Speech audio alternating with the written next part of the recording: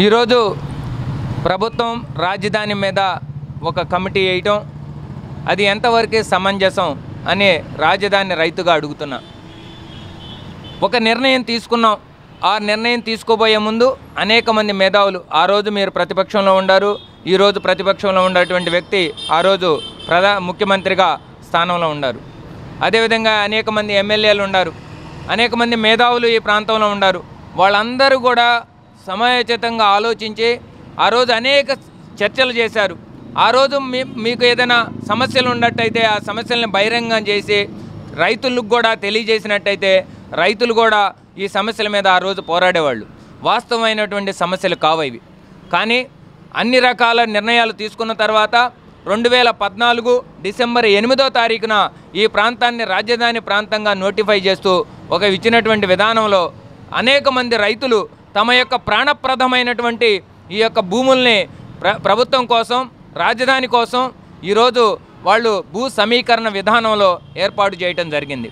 భూ సమీకరణ విధానంలో ఆ విధంగా ఇచ్చిన తర్వాత ఒక ప్రాంతాన్ని రాజధాని ప్రాంతంగా డిక్లేర్ చేసి దాదాపు ఎనిమిది వేల కోట్ల రూపాయలు ఆ రాజధాని ప్రాంత అభివృద్ధికి కేటాయించారు.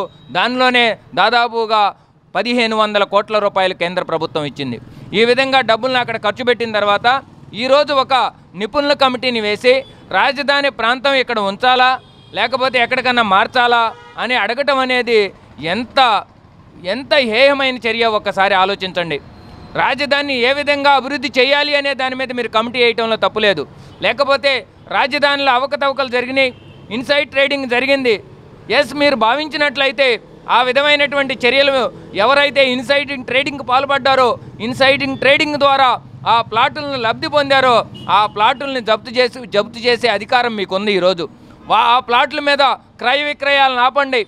వాళ్ళకి అన ఆ- ఆయాచితంగా అనాలోచితంగా అటువంటి నిర్ణయాలు జరిగి ఉంటే వాళ్ళు ఏ విధంగా ఆయాచితమైనటువంటి లబ్ధి పొందారు అని ఎవరైనా భావిస్తే వాళ్ళ యొక్క పేర్లను స్వీకరించండి. వాళ్ళ మీద తగిన విచారణ చేసే అంతటి వరకు కూడా ఆ భూముల మీద క్రయ విక్రయాలు ఆపండి. అంతేగాని మిగతా అమాయకులైనటువంటి తొంభై తొమ్మిది శాతం మంది ఏ ఒక్క శాతం మందో ఈ ఇన్సైడ్ ట్రేడింగ్లో లాభం పొంది ఉంటే అని మీరు భావించేటట్టయితే ఆ ఒక్క శాతం మీద చర్యలు తీసుకోవడంలో తప్పు లేదు. కానీ మిగతా ఉన్నటువంటి తొంభై తొమ్మిది శాతం మంది మీద ఆ విధమైనటువంటి చర్యలు తీసుకోవటం అనేది చాలా అనాగరికం.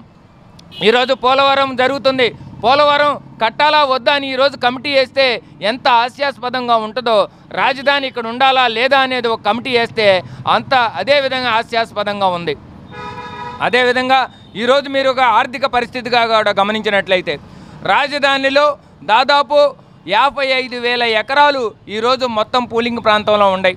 దీంట్లో దాదాపు సుమారుగా ముప్పై ఎనిమిది వేల నుంచి నలభై వేల ఎకరాలు మాత్రమే మన ప్రైవేటు వ్యక్తులు దాదాపు మిగతా పదివేల ఎకరాలు కూడా ప్రభుత్వానికి చెందినవి. అదేవిధంగా నాలుగు వేల ఎనిమిది వందల నలభై గజాలు ఇచ్చేటువంటి ఒక ఎకరంలో డెవలప్ చేసిన తర్వాత మనం రైతులకు ఇస్తుంది పన్నెండు వందల గజాలు పద్నాలుగు వందల యాభై గజాలే. మిగతా మిగిలేటువంటి భూమిలో ఉంది. ఈరోజు ఇంకా ప్రభుత్వం దగ్గర పన్నెండు వేల ఎకరాలు ఎక్కువ మిగులు భూమి ఉంది. ఆ మిగులు భూమిని ఈరోజు మిగతా సంస్థలకి మన గత ప్రభుత్వం చేసింది కోటిన్నర రూపాయలకి రెండు కోట్లకి యాభై లక్షలకి నాలుగు కోట్లకి అలాట్ చేసింది.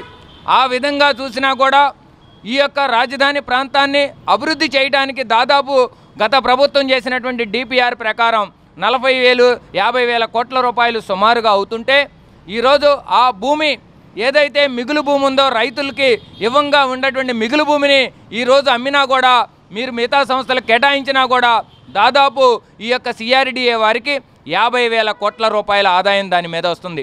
ఈ యాభై వేల కోట్లని ఆ ప్రాంతం అభివృద్ధి చేయండి. మీరు ఎటువంటి మిగులు నిధులు కానీ ఎటువంటి ప్రభుత్వ నిధులు కానీ ఖర్చు పెట్టాల్సినటువంటి అవసరం లేదు. కాకపోతే మీరు ఒక నమ్మకాన్ని కలిగించాలి. ఆ యొక్క పెట్టుబడిదారులకి ఆ యొక్క భూమిని తీసుకునేటువంటి పెట్టుబడిదారులకు నమ్మకం కలిగించండి. మేము దీన్ని డెవలప్ చేస్తామని నమ్మకం కలిగిస్తే దీంట్లో అనేక మంది ఈ ప్రాంతం మీద అభిమానం ఉన్నటువంటి వ్యక్తులు వచ్చి ఇన్వెస్ట్ చేయడానికి సిద్ధంగా ఉన్నారు వారి యొక్క ఇన్వెస్ట్మెంట్ను తీసుకోండి. ఆ డబ్బులతో దాన్ని డెవలప్ చేయండి. అంతేగాని ఇక్కడ మీరు ఒక ట్రస్టీ పర్సన్గా ట్రస్టీ వర్తే పర్సన్గా నిలవండి. దానంతటికదే రాజధాని అభివృద్ధి చెందుతుంది. రాజధాని కోసం ఎక్కడి నుంచో నిధులు అవసరం లేదు. అదేవిధంగా ఇంత ఒక పట్టణీకరణ ఇక్కడ జరిగితే అనేక సంస్థలు ఇతర సంస్థలు విదేశాల నుంచి కనుక ఈ సంస్థలు కనుక ఇక్కడికి వస్తే ఇక్కడ ఈ అమరావతి అనేది సెల్ఫ్ సస్టైన్డ్ రాజధానిగా అవుతుంది. దాని నుంచి ప్రభుత్వానికి ఆదాయం వస్తుంది. ఆ ఆదాయాన్ని ఈ విధంగా దానికి ప్రత్యేక ఉదాహరణే ఈరోజు తెలంగాణ రాష్ట్రంలో హైదరాబాద్ మహారా నగరం నుండి ఎంత ఆదాయం వస్తుందో మన అందరికీ తెలుసు అదేవిధంగా ఈ రాజధాని అమరావతిని కనుక మీరు అభివృద్ధి చేసినట్లయితే అదే విధమైనటువంటి ఆదాయం ఈ యొక్క ప్రాంతానికి ఈ రాష్ట్రానికి వస్తుంది. అమరావతి రాజధాని అనేది ఒక ఆదాయ వనరుగా ఈ రాష్ట్రం భావించి దాన్ని అభివృద్ధి చేయాలి. ఆ విధంగా అభివృద్ధి చేసినట్లయితే తప్పనిసరిగా ఈ అమరావతి మీరు చేసినటువంటి ప్రభుత్వం మీద నమ్మకంతో ఇక్కడ అది తెలుగుదేశం ప్రభుత్వమా వైఎస్ఆర్సీపీ ప్రభుత్వం కాదు ఆంధ్రప్రదేశ్ ప్రభుత్వం మీద అటువంటి నమ్మకంతో మనం ఈరోజు రాజధాని లేని ఒక పక్షుల్లాగా మిగిలిపోయామంటే ఎంత బాధాకరం. మొన్న సర్వే సర్వే ఆఫ్ ఇండియా వాళ్ళు మ్యాపులు ప్రకటిస్తున్నప్పుడు అన్ని రాష్ట్రాల యొక్క రాజధానులను ప్రకటించడం జరిగింది. కానీ మన ఆంధ్రప్రదేశ్కి వచ్చేసరికి రాజధాని లేకుండా మ్యాప్ రిలీజ్ అంటే ఈ ఆంధ్రప్రదేశ్ ప్రజలు రాజధాని లేనటువంటి సంచార జాతి పక్షులా అని ఒకసారి అడుగుతున్న సంచార జాతి జీవులా అని. ఆ విధంగా ఉండకూడదు. రాజధాని నిర్మాణానికి తగినటువంటి చర్యలు వెంటనే తీసుకోవాలి. మీరు రాజధానిని ఏ విధంగా అభివృద్ధి చేయాలనేది మీద సలహాలు సూచనలు కమిటీలు వేయటం తప్పులేదు కానీ రాజధాని ఇక్కడ ఉండాలా? మరెక్కడన్నా కట్టాలా అనే దాని మీద కమిటీలు వేశారంటే ఇది చాలా అనైతికం అనాగరికం హేయమైనటువంటి చర్య అని భావిస్తూ కాబట్టి ఇప్పటికైనా ప్రభుత్వం మీరు జగన్మోహన్ రెడ్డి గారికి ఎన్ని తెలియచేస్తున్నారని నేను అనుకోవట్లేదు. ఎంతో అధికారులు తప్పుదావ పట్టిస్తూ ఉండుండొచ్చు. ఈ రాజధాని నిర్మాణాన్ని కనుక మీరు చేసినట్లయితే జగన్మోహన్ రెడ్డి గారికి విపరీతమైనటువంటి ఆదరణ ప్రభుత్వ ఆదరణ ప్రజల యొక్క ఆదరణ పెరుగుతుంది. అనేక దేశాలలో ఆయన యొక్క ఇమేజ్ ఇంకా దిగ్వినీకృతం అవుతుంది.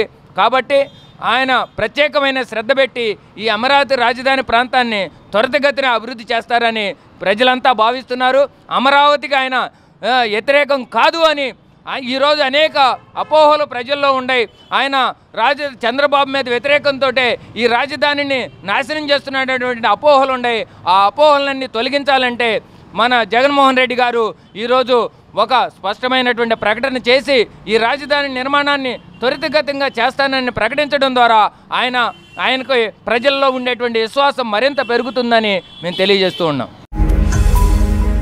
ఈ వీడియో గనుక మీకు నచ్చినట్లయితే లైక్ చేయండి షేర్ చేయండి.